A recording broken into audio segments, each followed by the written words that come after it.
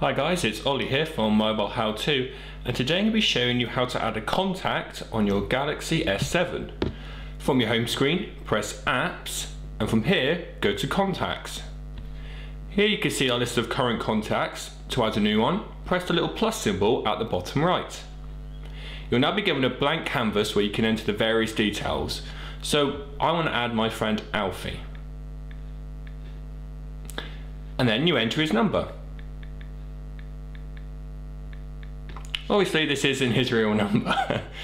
so that's the actual basics. You, you can also choose to uh, add an email for them, uh, assign them to a group. Um, so basically if it's a work colleague or a friend of the family, and even add all these extra bits. So the business he works for, his address, his own website, um, relationship, all those sort of things. Now one of the great things about the S7 is that it also allows you to set its own personalized ringtone for each contact.